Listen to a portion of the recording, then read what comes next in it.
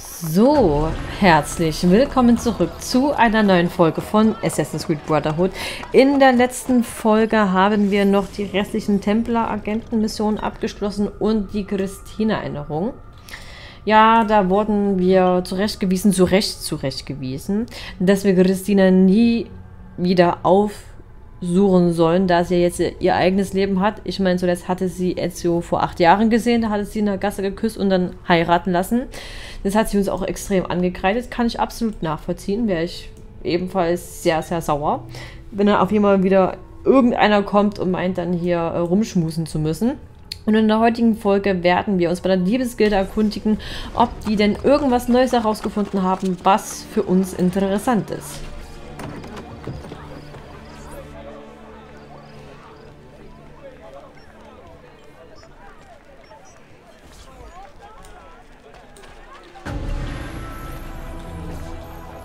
Buongiorno, Ezio. Es ist Zeit, Lucretias Liebhaber aufzusuchen. Pietro. Meine Männer suchen ihn bereits. Molto bene. Ezio. Gestattet ihr... Was gibt es? Rodrigo wurde von irgendjemandem gewarnt, sich von der Engelsburg fernzuhalten. Okay. Machiavelli? Habt ihr Beweise? No. Ein bloßer Verdacht darf uns nicht trennen. Die Borgia haben unsere Spione aufgedeckt. Wer verriet sie? Maestro Machiavelli erkundigte sich heute nach unserer Suche nach Pietro. Ezio? Das Leckstopfen. Die Angreifer eliminieren, damit sie nicht den Standort der Diebesgilde, Diebesgilde finden, danach La Volpe begleiten, um die anderen gefährdeten Diebe zu retten, mindestens fünf Quadrate Gesundheitsanzeige und Gesundheitsanzeige verhalten.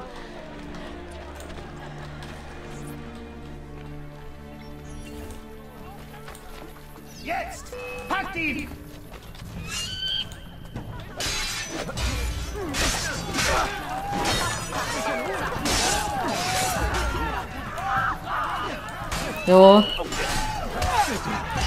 Lernen die eigentlich wie ein Adler zu schreien, damit die immer hier so rumschreien können, wenn die hier gerade von der Brüstung springen?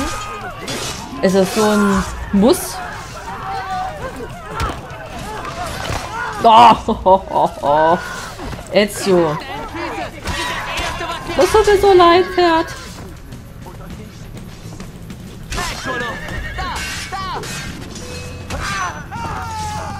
Los, auf ins Getümmel.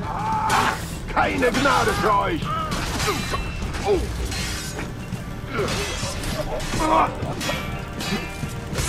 Tada. Da ist der.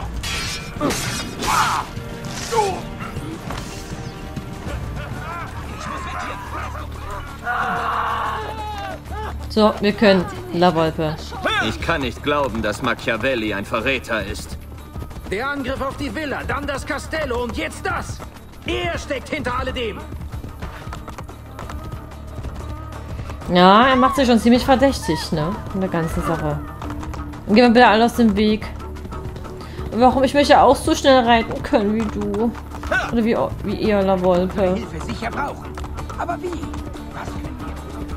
Na, ihr könnt mir gerne Geld geben, das könnt ihr für mich tun. Ich bin nämlich arm. Ich habe nur äh, 74.693 Florin. Das ist nicht so viel.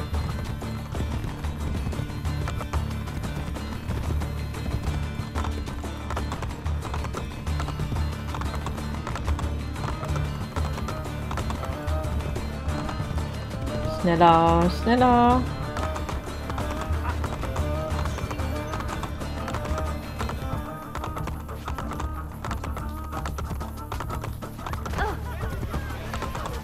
Okay, wo müssen wir eigentlich hin, La Wolpe? Achso, wir sind die anderen Diebe.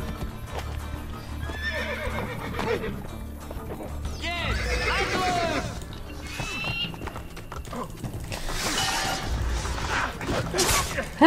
Ich, ich, wo bin ich denn? Ich sehe mich nicht. Ja, krieg, krieg das mal hin, meine Freunde der Sonne.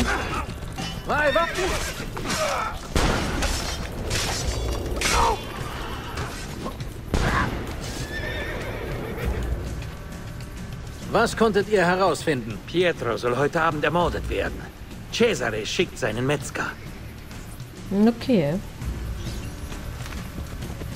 Danke für die Information. Wohin jetzt, äh, La Volpe? Micheletto, der beste Mann in Roma. Niemand entkommt ihm. Bis heute Nacht. Kommt mit.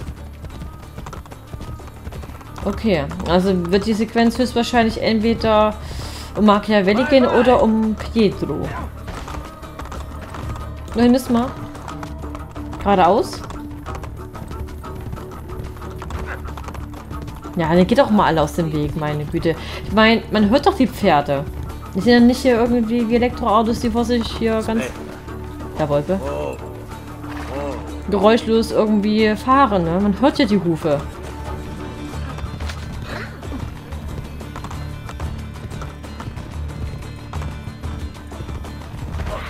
Ja, aus dem Weg.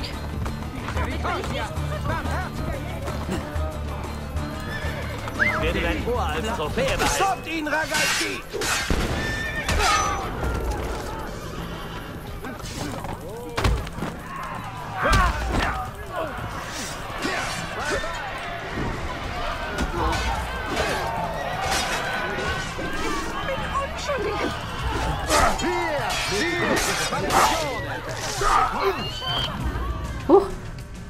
Habt ihr etwas über Pietro herausgefunden?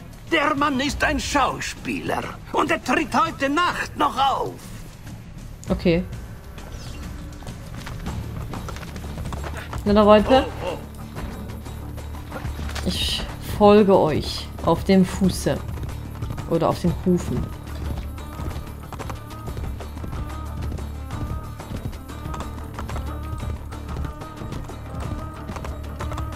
Aber sind wir bald da, La Volpe? Sind wir bald fertig hier? Ich habe noch andere wichtige Sachen zu erledigen. Ich muss noch Rom aufbauen, damit ich mehr Geld aller 20 Minuten bekomme. Das ist auch sehr wichtig für mich. Ich habe meine Villa Mondorigioni verloren, dann muss ich ja hier irgendwie mal das kompensieren, diesen Verlust.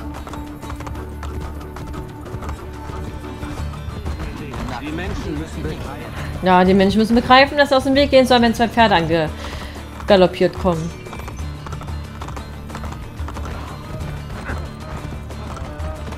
Aber sind denn das für Kisten, die, sobald sie runterfallen, kaputt gehen? Das sind ja, also das ist ja vom billigsten Material hergestellt worden. Aus dem Weg! Ja, da wollte, könnt ihr... Wo, wohin denn jetzt? Dahin. Gut.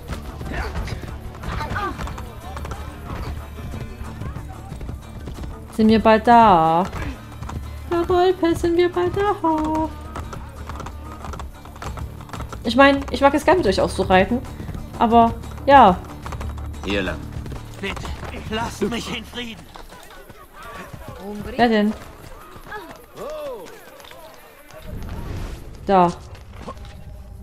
Ich hab den gefunden. Ergreift den Bastard!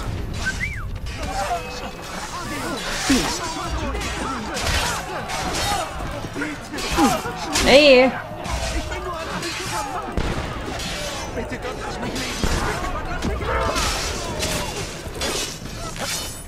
So, sind sie hier? So. Was soll das? Wo ist, denn, wo ist mein anderer Freund da?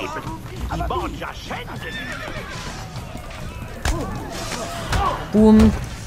Genick Was gebrochen. habt ihr über Pietro erfahren? Soll an ein Kreuz gehängt werden. Micheletto nimmt sich ihn mit dem Speer vor. Okay.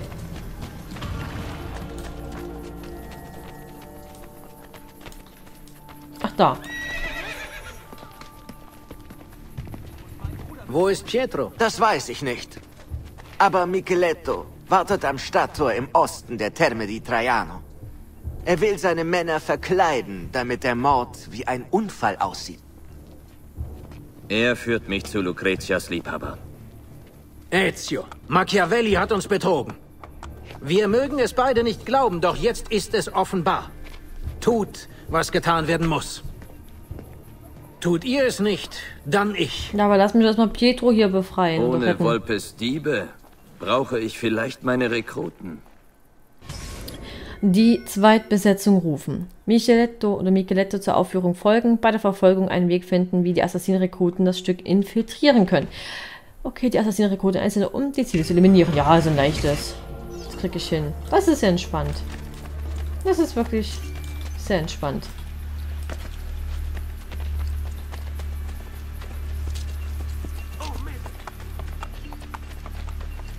Haben sogar alle wieder an Bord.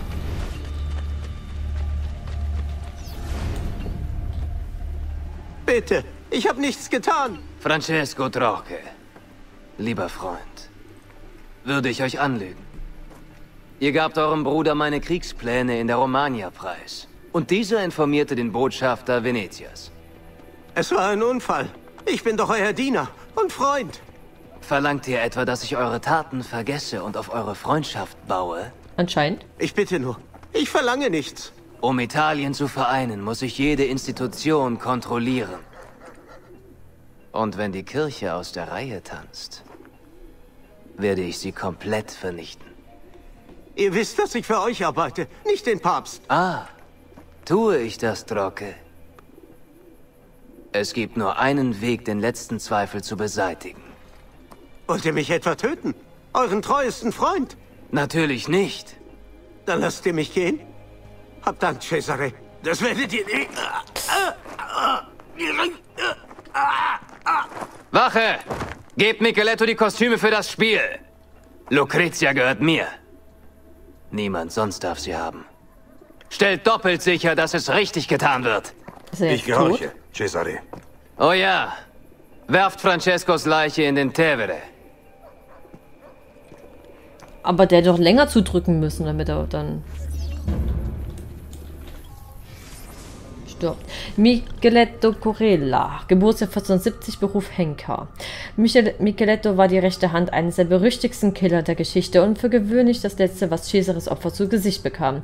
Dieser sozusagen todbringende Import aus Valencia in Spanien wuchs mit Cesare zusammen auf. Er war etwas älter und stets sein Beschützer. Er war nicht nur Cesares persönlicher Henker, sondern auch Condottiere.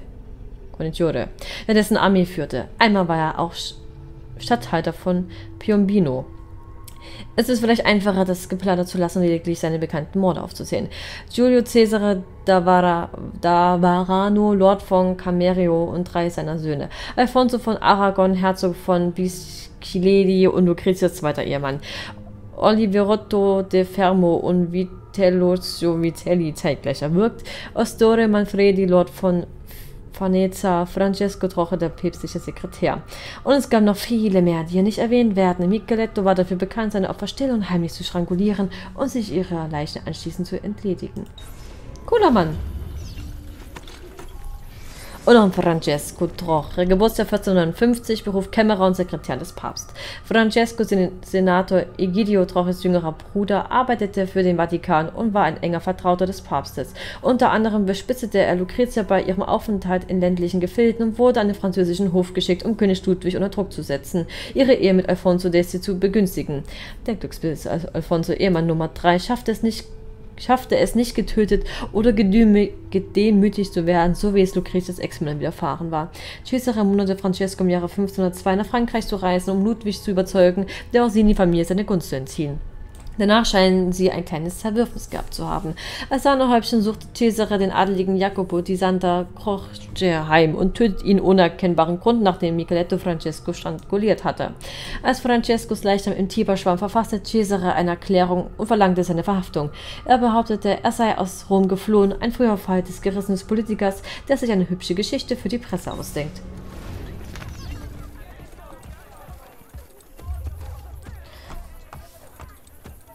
So, verfolgen wir ihn jetzt mal, oder verfolgen, nee, folgen wir ihm jetzt mal zur Aufführung und hoffen einfach mal, dass es relativ schnell geht. Andiamo!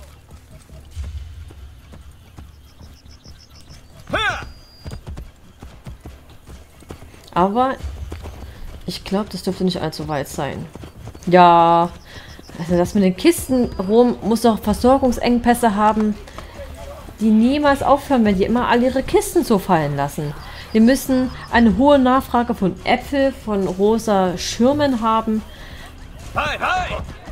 Also, die Wirtschaft muss eigentlich blenden.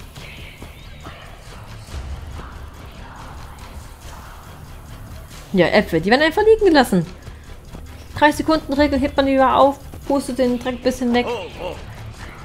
Und dann kann man es weiter essen.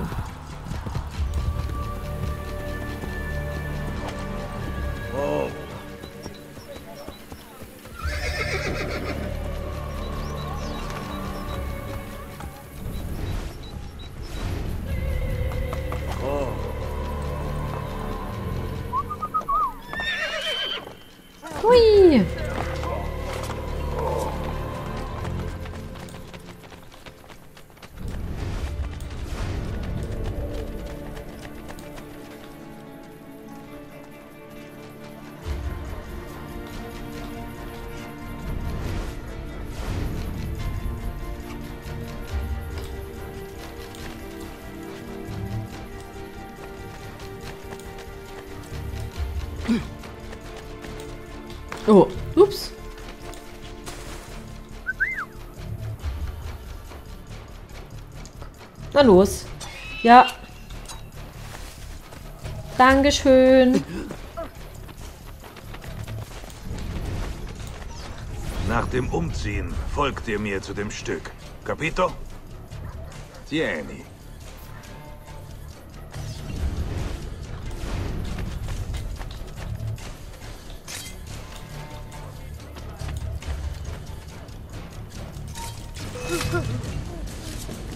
Ne?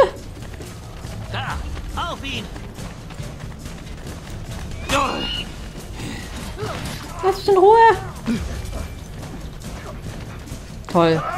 Auch um die Ziele. Ich, oh, ich bin so doof.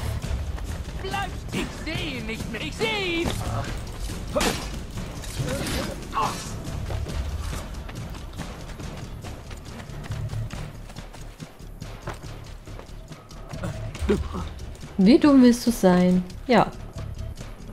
Da wäre echt cool gewesen, wenn ich jetzt hier im Sprung im Sattel gelandet wäre.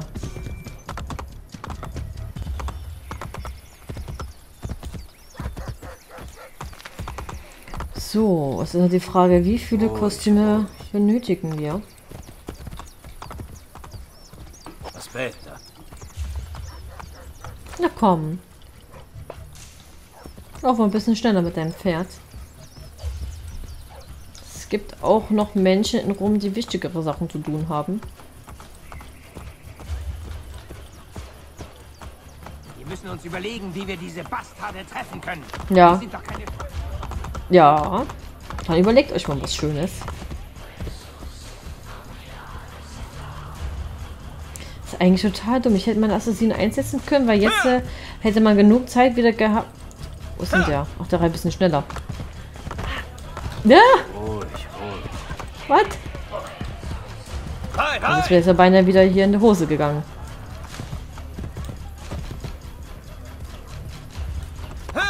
Ja, ne, hier beleidigen nur.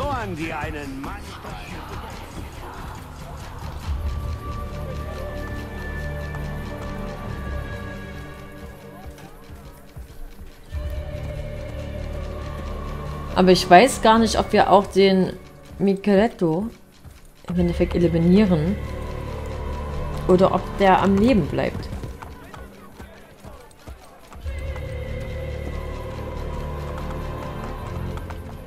So. Entschuldigung. Aspetta.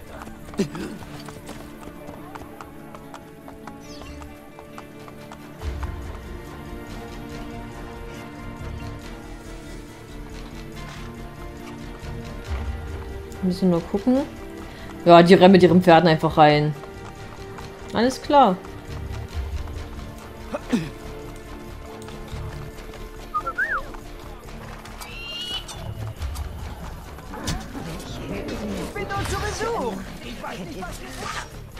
Ihr macht das schon, ne?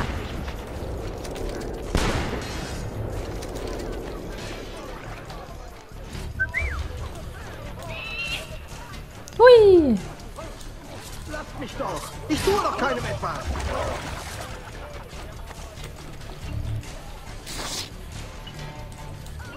Da ist er. Nach dem Umziehen folgt ihr mir zu dem Stück. Capito? Das ist für dich. Er kommt mir bekannt vor. Hallo.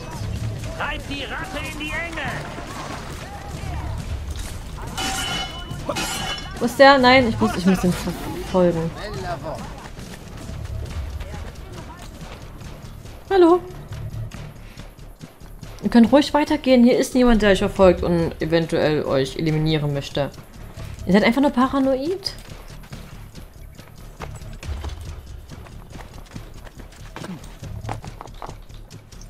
So.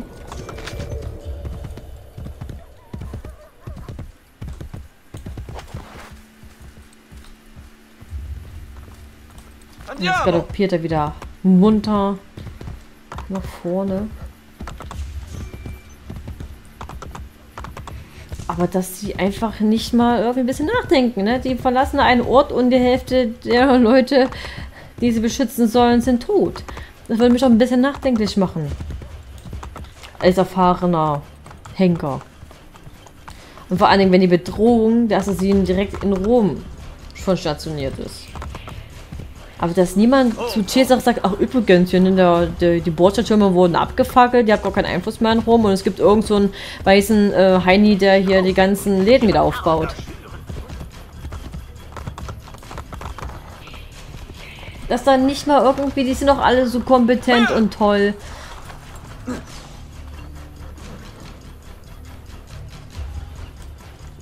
Aber da scheint es dann wieder zu zweifeln.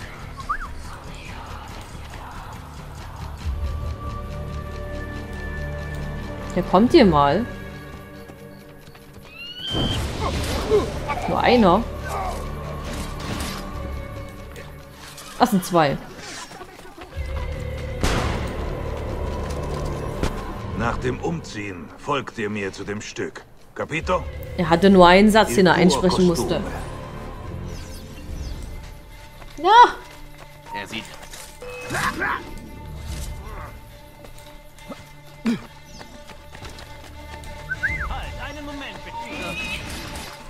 Tausend Dank, mein Freund. Bleibt standhaft. Ja, danke. Gleichfalls.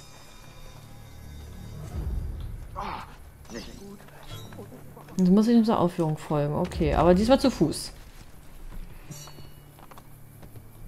Alles klar. Geht doch bestimmt noch mal um.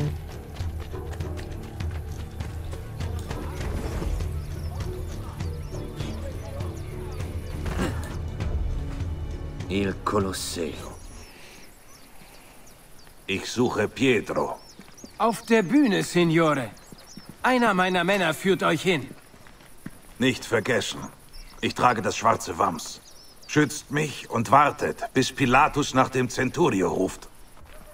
Ich muss vor ihm zu Pietro gelangen. Hm, wie machen wir das nur? Aha. Alles klar. Abgang, Bühne rechts, unbemerkt ins Kolosseum eindringen und den Schauspieler Pietro finden und retten, bevor er von mich Micheletto umgebracht wird. Niemand außer den Schützen töten. Das schaffe ich sowieso nicht. Aber ich würde sagen, das machen wir alles in der nächsten Folge, weil sonst wird es alles zu lange dauern. Ja, ich hoffe, dass euch die heutige Folge gefallen hat und dass wir uns in der nächsten Folge wiedersehen werden.